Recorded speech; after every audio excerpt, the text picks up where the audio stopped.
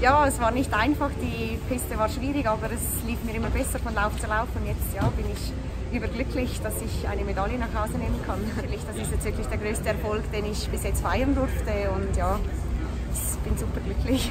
das zahlt sich natürlich jetzt aus, die ganzen Trainings im Sommer und ja, auch Schneetrainings, die man geleistet hat und ja, das ist jetzt die Belohnung, seine Medaille nach Hause nehmen zu dürfen. Sicher, also auch morgen im Slalom heißt es wieder Vollgas geben, jetzt nach Hause erholen und ja, dann erhoffe ich mir morgen natürlich auch Chancen auf eine Top-Platzierung.